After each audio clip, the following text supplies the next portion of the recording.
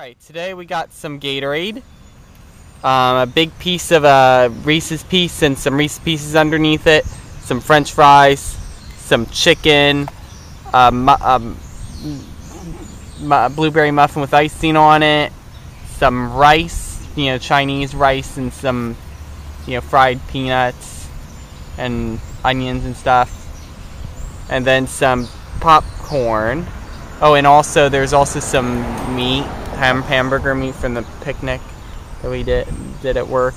And there's also some water and some more hamburger meat behind there, just in case these hamburger pieces get dragged away by the starlings.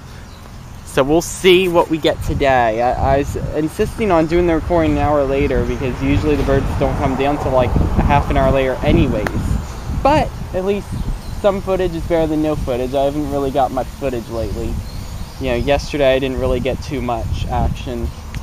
You know, most most of everything that went on was in part two. Part one was just nothingness. So, you know, I, I, I anticipate that there are things that, that may happen today, but I'm just not sure. There were crows over there. They were over here. I heard them before I even woke up at 7 in the morning. They were calling.